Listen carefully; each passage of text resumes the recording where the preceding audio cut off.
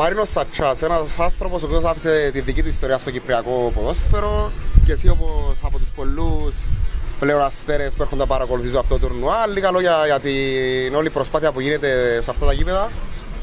Ε, να δώσω τα συγχαρητήρια μου στους διοργανωτές. Είναι το μεγαλύτερο τουρνουά που γίνεται στην Κύπρο. Είναι μια πολύ καλή εμπειρία για τα μικρά παιδιά και για τους προπονητές να απολαύσουν το παιχνίδι χωρίς ε, τρόμερα και πρέπει όλοι να είναι πιο ψύχρεμοι για να γίνει ε, μια καλύτερη διοργάνωση. Οι μικροί βλέπουμε ότι ε, είναι μοναδικές οι εμπειρίες που, που κατακτούν, έχουν προοπτικές και πρέπει όχι μόνο να αγωνίζονται για να κερδίσουν, αλλά για να αγωνίζονται και για, το, για να αθλούνται περισσότερο για, για την υγεία τους στα πλαίσια του κυρίου ανταγωνισμού, δηλαδή το τουρνουά.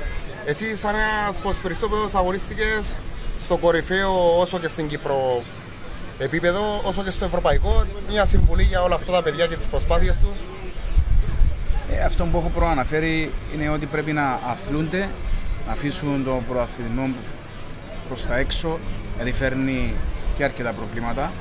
Πρέπει να το καταλάβουν όχι μόνο τα παιδιά, αλλά οι γονείς περισσότερο γιατί πιστεύω η μεγαλύτερη ζημιά γίνεται από τους γονείς.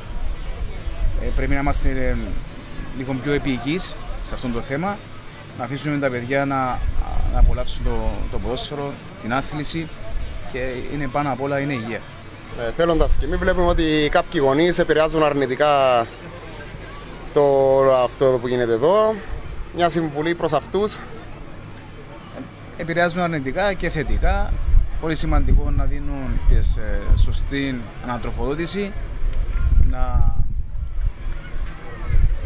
να φωνάζουν προς το καλύτερο για τα παιδιά τους και όχι προς το χειρότερο, να μην ασχολούνται με τους ε, υπόλοιπους. Ε, πιστεύω έναν, έναν μπράβο, δεν πειράζει, είναι μια πολύ καλή συμβουλή αυτά τα τουρνουά. Ευχαριστούμε Μαρίνο.